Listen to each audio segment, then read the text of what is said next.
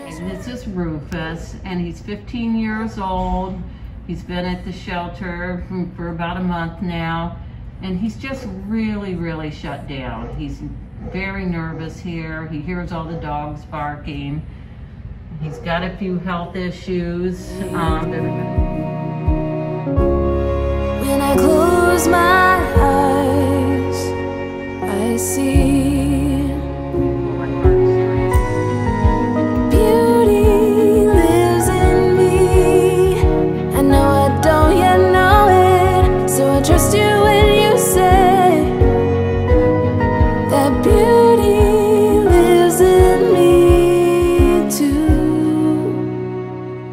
do